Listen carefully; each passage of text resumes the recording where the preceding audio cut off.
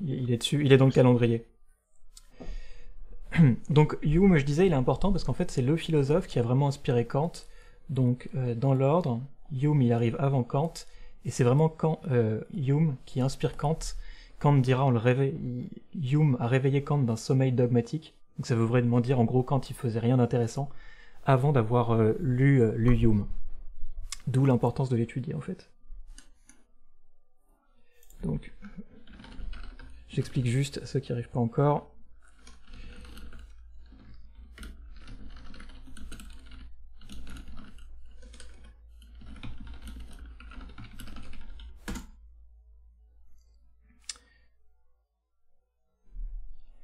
Donc, Hume. Né à Édimbourg, David Hume reçoit une culture essentiellement littéraire qui le destine au droit et au commerce. Mais c'est la philosophie qui le passionne. C'est au cours d'un séjour en France, à partir de 1734, qu'il écrit son premier livre, Traité de la nature humaine. Paru en 1739 et 1740. Il n'aura guère de succès. Hume décide d'écrire des ouvrages plus courts qui lui valent une notoriété croissante. Essais moraux et politiques, enquête sur l'entendement humain, enquête sur les principes de la morale, discours politique. Il passe plusieurs années en France comme attaché à l'ambassade d'Angleterre. À Paris, il fréquente les salons et fait la rencontre des plus grands philosophes et savants du moment. Lié à Rousseau, donc Rousseau, vous souvenez, on l'avait vu sur la justice et la loi, c'était le philosophe, euh, un des philosophes qui parlait du contrat social. Le contrat social. Et donc dans les autres philosophes du contrat social, souvenez-vous, il y avait Hobbes, Locke et Rousseau. Euh, donc, lié à Rousseau, il cherche à, le protéger et l'amène en Angleterre, mais cette aventure avec l'ombrageux solitaire se termine mal. L'empirisme de Hume, l'empirisme, est-ce que vous vous souvenez ce que ça veut dire?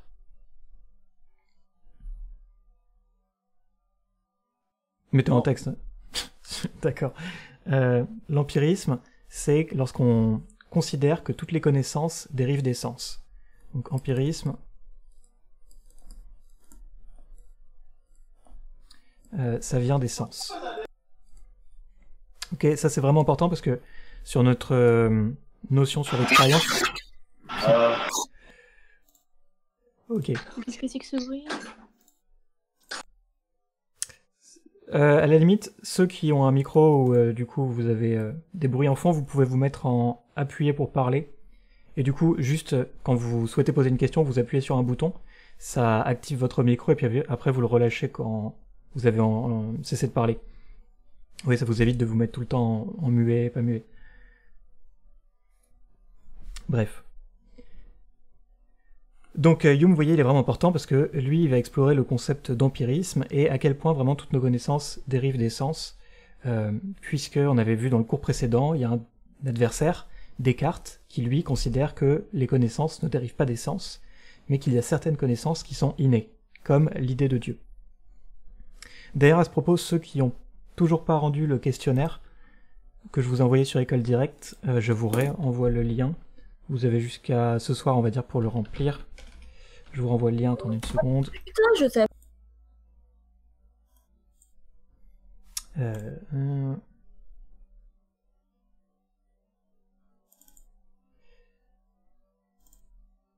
Je vous copie ça.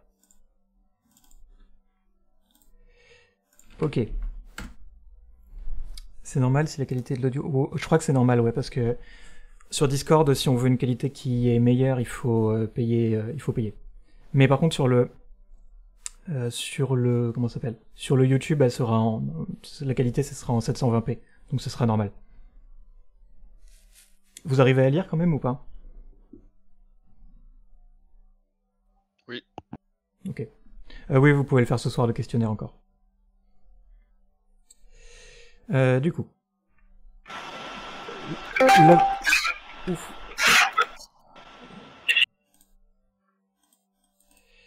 Ok, euh, Loïc, je t'ai mis en, muet par contre parce que du coup, essaye de te mettre avec le, truc là, euh, appuyé pour parler. Euh, L'œuvre qu'on va étudier donc, pour le moment, ça va être les dialogues sur la religion naturelle, ce qui est euh, assez pratique pour nous puisque donc ça permet de relier les deux notions qu'on a étudiées. La notion précédente qui est la croyance et la notion actuelle qui est l'expérience. Vous allez voir, ça fait assez bien la jonction et ça nous permet de comprendre encore une fois en quoi les, les sens sont importants dans la théorie de la connaissance. Donc là, l'objet du texte, c'est le théisme. Théisme.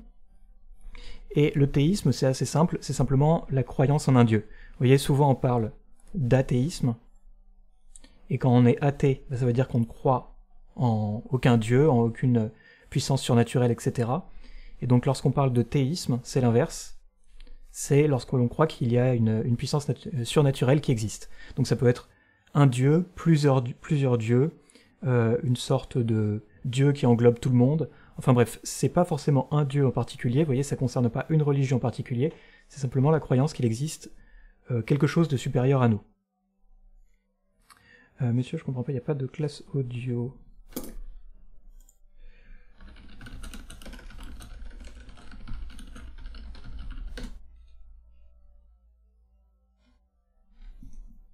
Donc, premièrement, de l'empirisme au scepticisme. Hume, on l'a dit donc, c'est un empiriste, c'est-à-dire qu'il considère que toutes nos connaissances dérivent des sens toute connaissance dérive des données sensibles, c'est-à-dire l'odorat, l'ouïe, la vue, etc. Toutes les idées, soit de la mémoire, souvenir, soit de l'imagination, proviennent d'impressions fournies par les sens. Alors impression, faut un peu considérer ça comme une sorte de, par exemple une photo, c'est-à-dire que tout ce qui est dans votre esprit, tout ce qui est dans votre cerveau, on va dire que c'est un cerveau, ok. Cerveau, esprit, eh bien, tout ce qui est à l'intérieur de ça, ça vient de ce que vous avez vu, entendu, euh, touché. Il n'y a rien qui peut être à l'intérieur de votre cerveau qui n'a pas été euh, l'objet d'une expérience.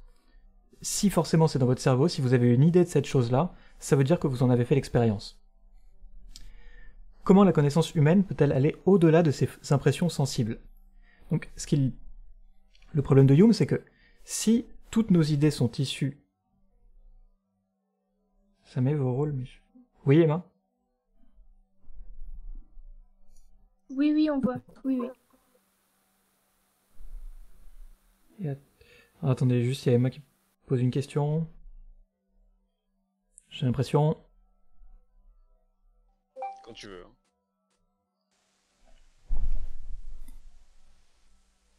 Je trouve pas le... Le quoi?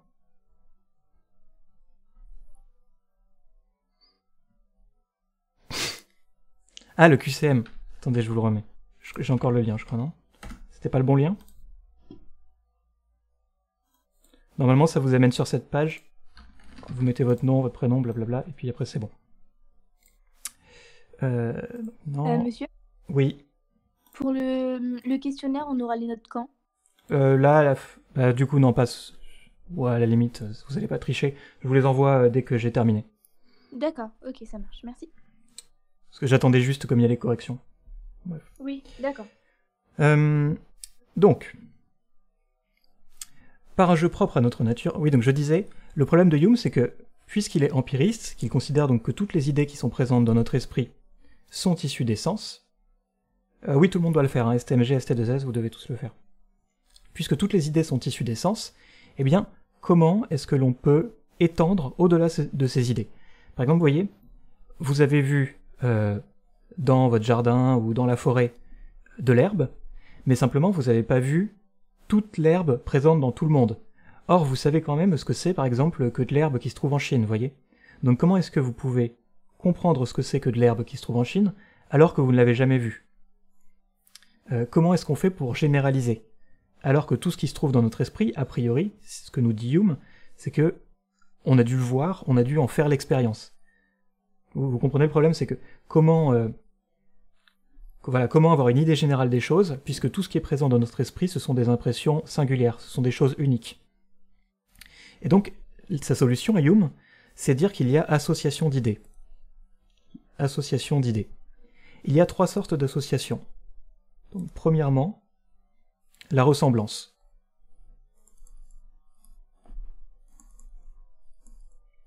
Ça, vous pouvez noter simplement les trois sortes d'associations d'idées c'est assez important.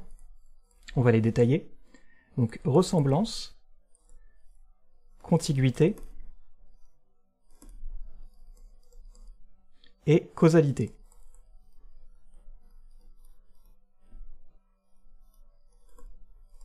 Et Hume, il nous dit, ces trois principes, ça nous permet a priori d'expliquer la raison pour laquelle on est capable d'avoir dans notre esprit des idées qui soient générales et pas simplement des impressions uniques.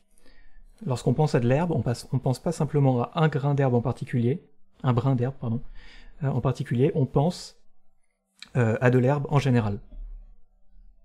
Je ressors toujours le même exemple. Lorsque l'on pense à une chaise, en réalité, on ne pense pas à celle qui est présente dans la salle, on pense à une chaise en général.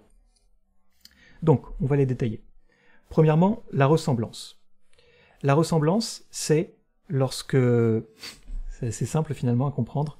Euh, lorsque vous voyez par exemple, pour reprendre l'exemple, un brin d'herbe, euh, qui est d'une couleur, on va dire, euh, vert clair, et plus tard, lorsque au cours de votre existence, vous voyez un autre brin d'herbe, qui est par exemple d'un vert foncé, Hume nous dit que l'esprit fond en quelque sorte, mélange ces deux représentations. Bon là c'est de l'herbe qui est bleue, mais vous voyez l'idée, en quelque sorte, ça a la même forme, ça a la même taille, ça n'a pas la même couleur, mais donc notre esprit considère que c'est suffisamment ressemblant pour l'associer sous une même idée. Vous voyez, ces deux impressions vont se fondre sous une même catégorie qui est herbe. Ensuite, contiguïté spatiale ou temporelle. Contiguïté, en fait, c'est lorsque les choses sont suffisamment proches, euh, à la fois dans le temps et dans l'espace, pour que lorsqu'on les rencontre, eh bien encore une fois les deux se mélangent et qu'on en fasse une seule représentation. Donc vous voyez, même si euh, dans notre champ de vision on voit de l'herbe en particulier, eh bien on est capable de dire que cette herbe-là, elle est suffisamment proche spatialement, et on en a fait l'expérience, je sais pas, hier ou aujourd'hui, et donc les deux ne sont pas différentes. Les deux sont, toutes les deux, euh, des types d'herbes. Et donc, encore une fois, on classe les deux dans l'herbe. Vous voyez la logique?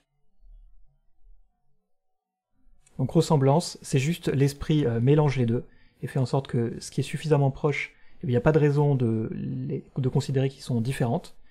Contiguïté, c'est lorsqu'ils sont suffisamment proches, mais dans notre champ de vision, en quelque sorte, dans notre existence, lorsque l'on voit de l'herbe hier, aujourd'hui, eh bien, l'herbe finalement n'a pas fondamentalement changé, donc ça reste la même.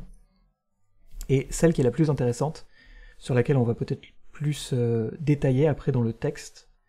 Le texte qui est ici, vous allez voir. C'est donc la causalité.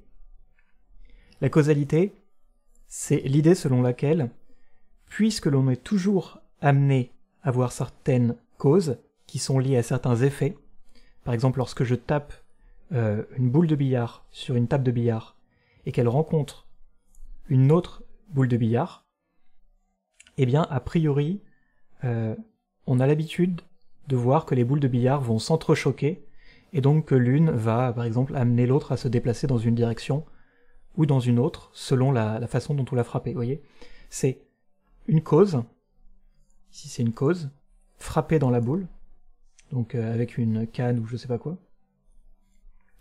Vous frappez dans une boule de billard avec une canne, eh bien, ça va entraîner un effet, Et donc ça, c'est la causalité. Qu'une cause entraîne un effet.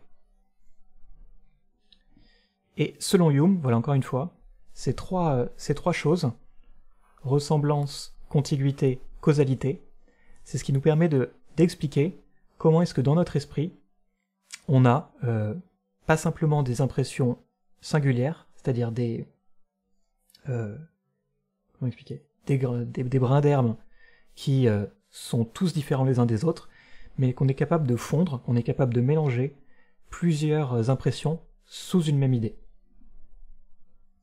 Ça va, c'était à peu près clair avec l'exemple de l'herbe. Si vous voulez, je peux en prendre un autre. Hein.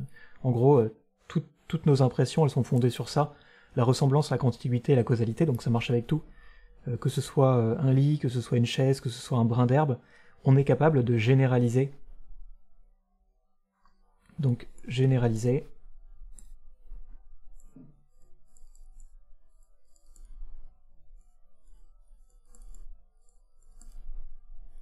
euh, nos impressions.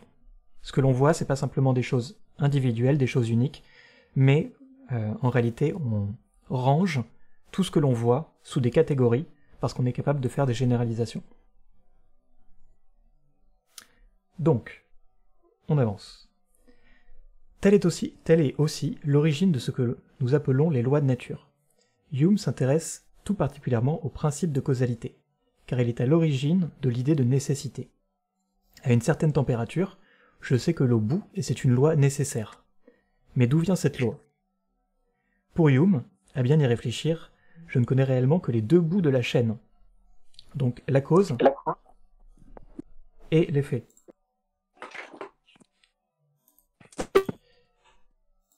Alors, la cause et l'effet. Donc j'en étais où? La nécessité que j'attribue un passage de l'un à l'autre n'est que la force de cette habitude que j'ai de lier les deux idées, et de la probabilité infiniment faible que la première ne soit pas suivie de la seconde. Donc vous voyez, lorsque vous faites chauffer de l'eau, a priori, euh, je vais peut-être passer un peu sur la droite. Lorsque vous faites chauffer de l'eau, donc qu'est-ce qui se passe lorsqu'elle arrive à 100 degrés? Eh bien, elle se met à bouillir. Et ça, c'est quelque chose que vous avez constaté à chaque fois que vous avez mis de l'eau euh, à chauffer et qu'elle a atteint une, une, température suffisante.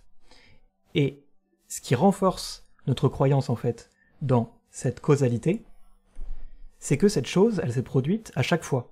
Vous voyez, on va voir dans le texte, c'est la même chose avec le soleil. Le soleil s'est levé chaque matin.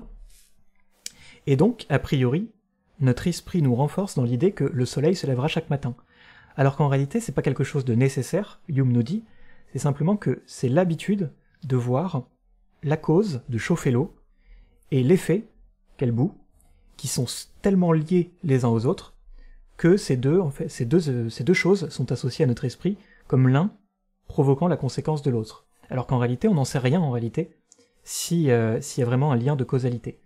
Donc la causalité pour Hume, c'est une, euh, c'est pas une illusion, mais c'est simplement un effet psychologique, pour ainsi dire, de la liaison des choses. C'est parce qu'on a tout le temps vu l'eau se mettre à bouillir lorsqu'elle arrivait à 100 degrés qu'on est intimement convaincu euh, qu'elle va bouillir lorsqu'elle atteindra 100 degrés. Vous voyez l'idée en fait, Hume nous dit tout ce qu'on considère comme étant scientifique, comme étant certain, en réalité c'est simplement lié à l'impression, la force que ça a dans notre idée. Un peu comme euh, euh, un peu comme euh, une sorte de tampon. Vous voyez, plus vous imprimez quelque chose, plus l'idée est imprimée dans votre esprit, plus cette impression est forte, et bien plus finalement cette idée aura du mal à disparaître. Donc l'idée que l'eau bout à 100 degrés, c'est vraiment imprimé très très fortement dans l'esprit, puisqu'à chaque fois qu'on a mis de l'eau à bouillir à 100 degrés, eh bien on a vu qu'elle bouillait, qu'elle euh, se mettait à bouillir. On va voir ça de toute façon plus en détail avec le texte, J'espère qu'on va y arriver, puisque le temps passe. Donc, on voit comment l'empirisme conduit au scepticisme. Ah, j'ai pas vu. Euh, donc, Paul, tu dis, monsieur, j'ai pas pu me connecter avant, l'appli se téléchargeait pas. Ok, d'accord, il a pas de problème. Bon, de toute façon, c'est pas grave, on est qu'à la deuxième session, mais vous voyez, du coup, c'est pratique euh, d'avoir euh, d'avoir téléchargé l'application et de configurer le truc. C'est bon, pas de questions jusqu'à maintenant?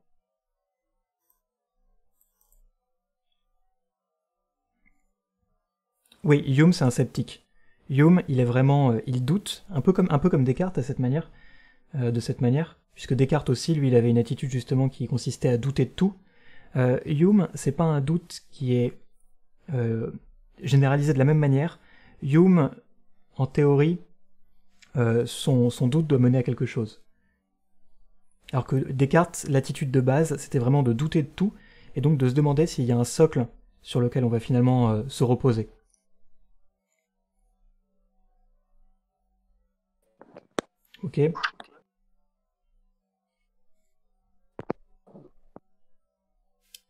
Donc, on en arrive. Euh, mon ordi veut plus travailler, donc il veut plus se connecter à la classe audio. Ah mince. Bon, de toute façon, si vous loupez des petits passages, il y a quand même euh, l'enregistrement qui est disponible après sur YouTube.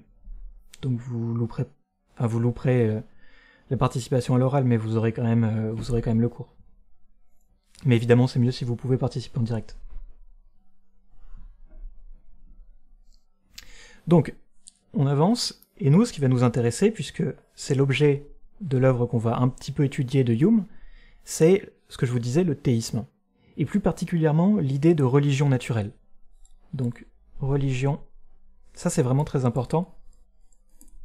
Religion naturelle. Oui, Hume, il est d'accord que les connaissances euh, découlent des sens.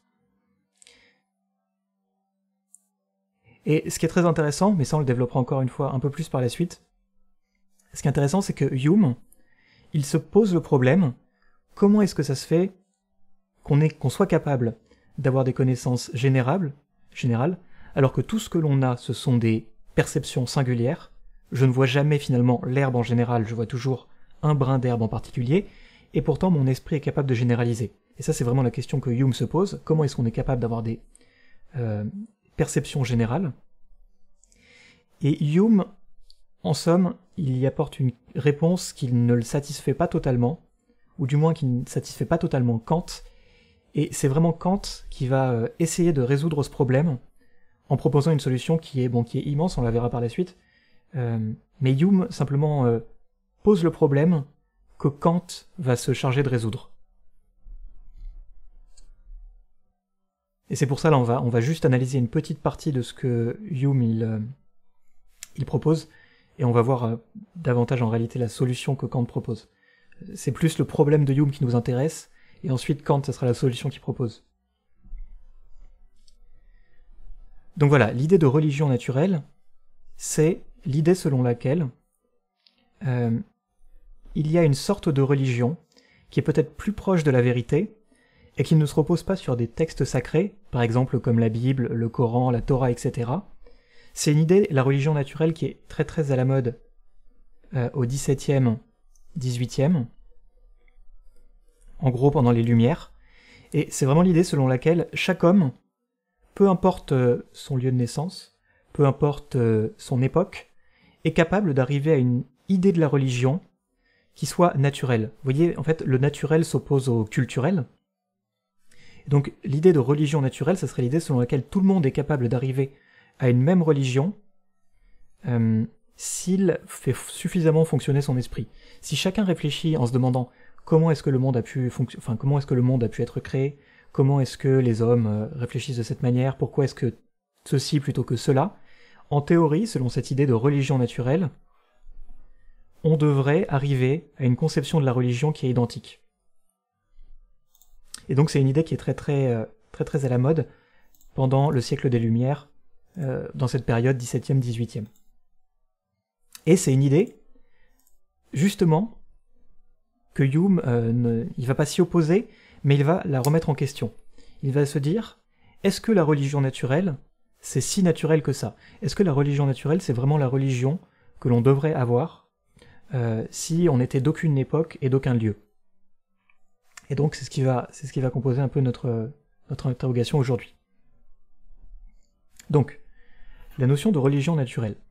La religion naturelle serait cet ensemble de croyances et de sentiments religieux qui naîtraient spontanément, naturellement, de l'esprit ou du cœur d'un homme, s'il n'y avait pas reçu d'éducation religieuse. Cette notion suppose que l'homme soit capable de lui-même de saisir le divin. Donc vous voyez, pas besoin de Bible, pas besoin de Torah, pas besoin de Coran ou de n'importe quel texte sacré, que ce soit polythéisme ou quoi que ce soit. L'homme est capable de lui-même, de lui-même, en quelque sorte, de comprendre ce que c'est que Dieu et la religion. Telle est la revendication du théisme, qui se répand parmi les philosophes des Lumières.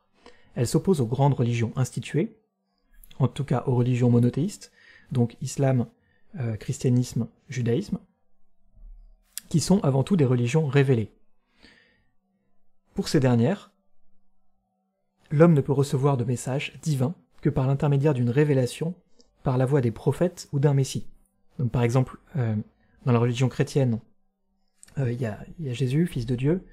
Euh, dans le Coran, on peut penser, alors c'est pas le fils de Dieu, mais Mohamed c'est un prophète. Et donc, il y a cette idée que la religion, on doit passer par un intermédiaire, donc des textes sacrés et un prophète, pour la comprendre. On ne peut pas la comprendre si on y réfléchit euh, par soi-même. Donc l'idée de religion naturelle est donc une idée savante, une idée de philosophe, ce n'est pas une croyance populaire. C'est aussi une idée militante, puisqu'elle va dans le sens du refus de l'intolérance religieuse. Vous voyez, c'est intéressant parce que donc cette idée des Lumières, cette idée de religion naturelle, ce qu'elle nous dit, c'est que peu importe notre euh, culture, peu importe notre époque, on doit être capable de tous tomber d'accord sur une même religion. Et donc finalement, euh, peu importe nos différences, peu importe euh, que l'un soit né ici et l'autre ailleurs, on doit tous se mettre d'accord sur cette idée de religion naturelle qui n'a aucun dieu en particulier. Vous voyez, dans la religion naturelle, c'est pas euh, le dieu des chrétiens ou le dieu des juifs ou le dieu des musulmans. C'est aucun dieu en particulier parce que ce n'est pas un dieu qui est révélé par les textes sacrés ou par un prophète. Donc, c'est pourtant cette idée progressiste que Hume s'oppose, c'est pourtant à cette idée progressiste que Hume s'oppose dans ses dialogues. En tant que sceptique, donc l'attitude de douter, il voit dans le, dans le théisme une forme de superstition, plus subtile certes que la superstition populaire, mais par cela même dangereuse. Donc vous voyez, Hume doute Euh, de la religion naturelle. C'est bon, vous suivez toujours?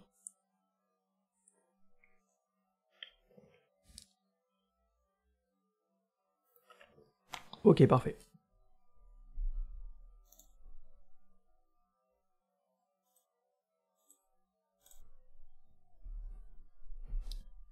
Si vous avez des questions, tant qu'on change de paragraphe,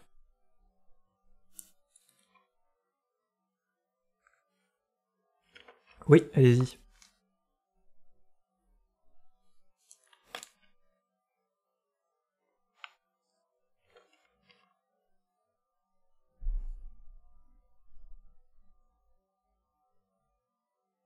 Euh, scepticisme, ok. Scepticisme, c'est juste... C'est juste, remarque, c'est important. Scepticisme... Euh,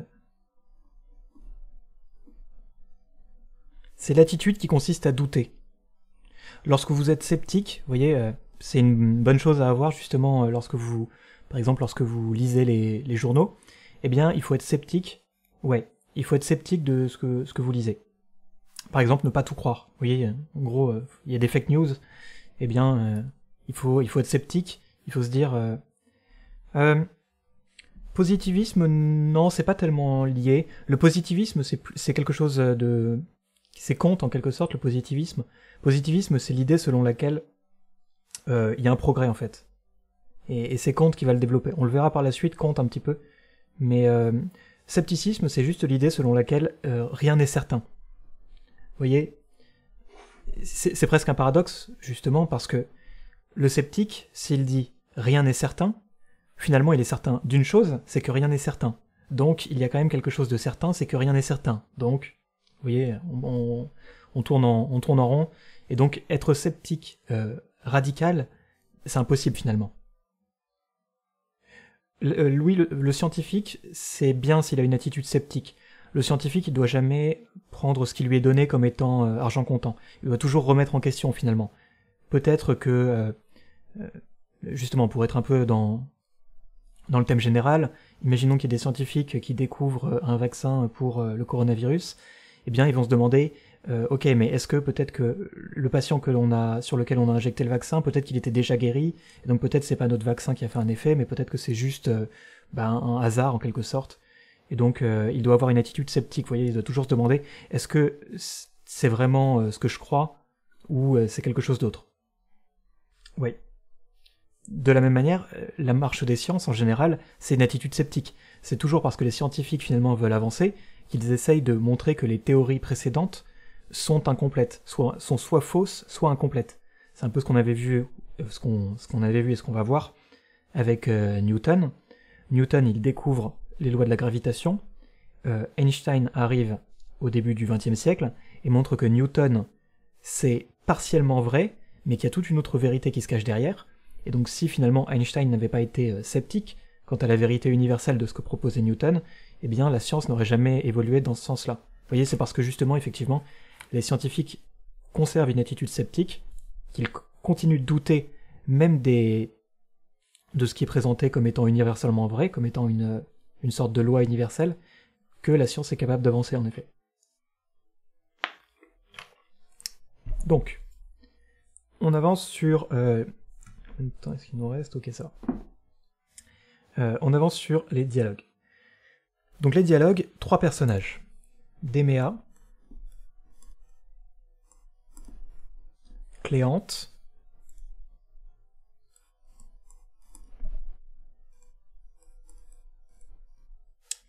et euh, Philon. Ça, chacun va proposer une version de la religion. Donc Déméa représente l'orthodoxie et la religion révélée, c'est-à-dire christianisme, judaïsme, euh, islam, les religions qui considèrent qu'il y a des textes sacrés, un culte qu'il faut observer, etc. Celui qui refuse le théisme des libres penseurs, c'est la religion traditionnelle en fait. Donc euh, lui, tradition. Cléante, au contraire, c'est davantage ce qu'on a présenté juste avant, euh, la religion naturelle. Vous voyez? Cléante, c'est davantage la religion naturelle.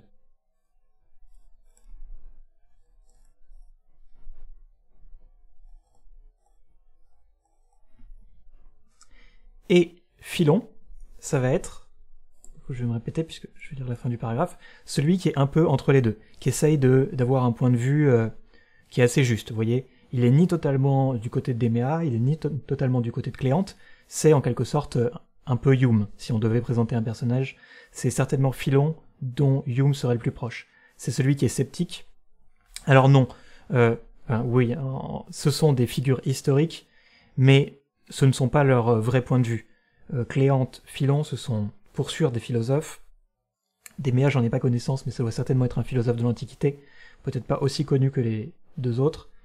Euh, mais là, pour le coup, ce sont simplement, voyez, comme des personnages euh, théâtraux. C'est simplement pour faire parler les idées, euh, il utilise des personnages. Ce sont une sorte de, de métaphore pour, pour incarner les idées. Mais ce sont pas strictement parlé les idées, voyez, de Déméa. Ce sont pas de vrais personnages là, tels que Hume les entend. Ce sont simplement des prétextes pour, pour faire son livre. Donc Philon, à la limite, c'est celui qui est le plus proche de Hume, puisque lui, il est sceptique. Sceptique à la fois de la tradition et à la fois de la religion naturelle. Il est sceptique des deux, puisque il n'a pas de camp, il, doute de tout. Donc Démère représente l'orthodoxie, Cléante représente l'esprit conquérant des Lumières, celui qui défend le droit de la conscience à penser Dieu selon la raison.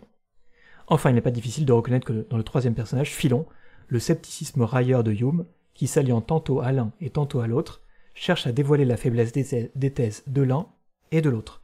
Et ça, euh, c'est pas quelque chose qui est dit explicitement, mais ça fait un peu penser, alors je vais le dire pour pas que vous pensiez que c'est concrètement ce que Hume dit, ça fait un peu penser à la figure de Socrate. Socrate, il a un peu cette attitude-là. à Socrate. Puisque Socrate, il était toujours dans l'Antiquité, donc Socrate, un vrai philosophe, hein, souvenez-vous le, maître de Platon. Euh, Socrate, il avait un peu cette attitude à toujours être euh, demander ce que les autres euh, pensent et jamais être satisfait de ce qu'on lui propose. Vous voyez, si quelqu'un propose une thèse à la justice, eh bien il va demander d'accord, mais qu'est-ce que c'est que la justice? Vous voyez un peu comme un enfant en permanence qui demande pourquoi, pourquoi, pourquoi. Socrate, c'est un peu la même chose. Il essaie toujours de remonter au-delà de la réponse qu'on lui donne. Et c'est un peu l'attitude que donne, que donne Philon. C'est ne jamais être satisfait, toujours être dans une attitude de doute, une attitude sceptique. Donc l'enjeu est important pour Hume, et c'est là sa grande originalité. Le dogmatisme, euh, le dogmatisme, c'est de considérer, donc dogmatisme,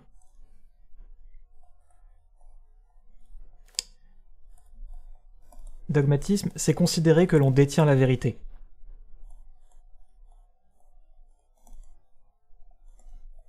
Quelqu'un qui est dogmatique, vous voyez, qui a une attitude dogmatique, c'est quelqu'un qui pense qu'il sait tout d'une certaine manière, et donc il est certain de connaître, euh, la vérité. Le sceptique, c'est l'opposé, c'est celui qui doute de tout, qui, qui n'est jamais certain de connaître la vérité.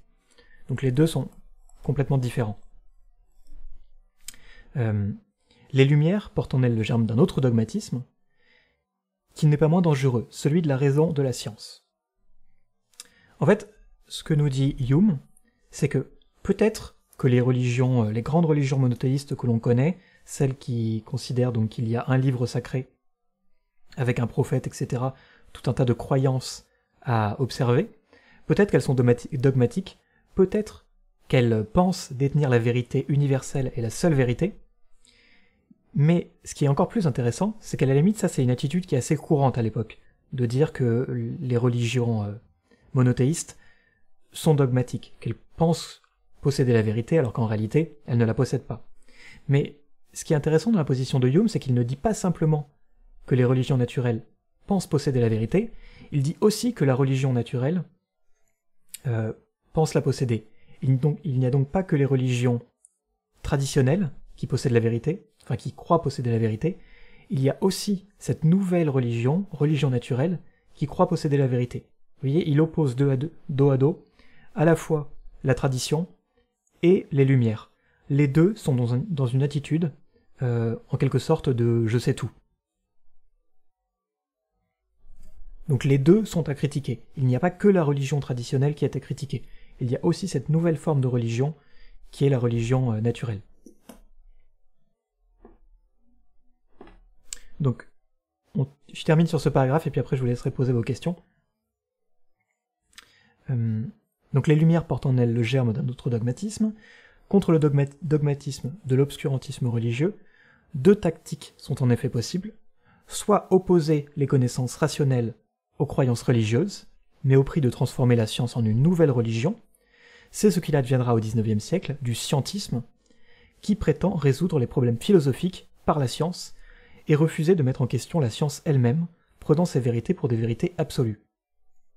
Soit reconnaître cela, de manière plus générale, les limites de la connaissance humaine, c'est ce qu'on avait vu, souvenez-vous, euh, dans la dernière notion, lorsqu'on s'était interrogé sur justement comment comprendre les nouvelles théories physiques, par exemple le Big Bang, est-ce que notre esprit est capable de comprendre ce que la physique ou les mathématiques nous proposent, aux frontières du savoir Ou est-ce qu'au bout d'un moment, en quelque sorte, il faut dire euh, que notre esprit n'est pas capable, et donc il faut bah, laisser tomber d'une certaine manière. Euh, Et donc, je termine sur ça et je vous laisse poser vos questions soit ce qu'on appellera au XIXe siècle euh, l'agnostisme, qui refuse prudemment, prudemment de prendre position sur une question. Donc vous voyez, lorsque vous êtes agnostique, il y a beaucoup de personnes qui sont, qui sont agnostiques, vous n'êtes pas athée, mais vous n'êtes pas non plus théiste. Vous considérez qu'en quelque sorte, peut-être qu'il existe quelque chose de supérieur, ou peut-être pas.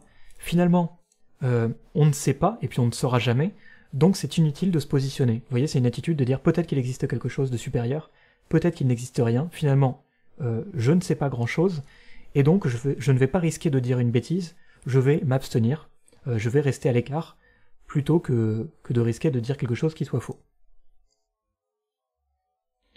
Donc est-ce que vous avez des questions? On n'a pas totalement terminé, c'est dommage, la prochaine fois on, donc on fera le paragraphe 4 et le texte. Et... Euh, ok. C'est bon, vous avez compris, c'était pas trop rapide?